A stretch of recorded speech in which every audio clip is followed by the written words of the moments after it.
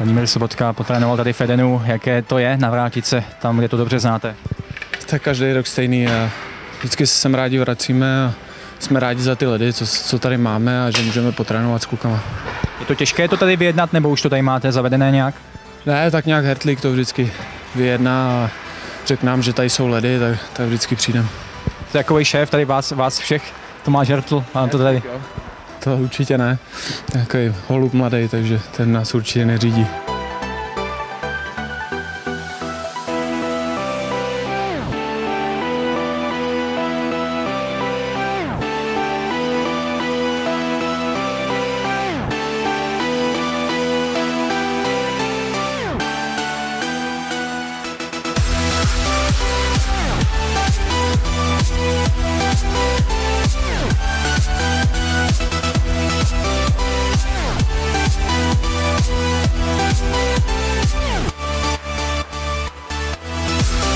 Jak vůbec vzniknul ten nápad, že se tady sejdete?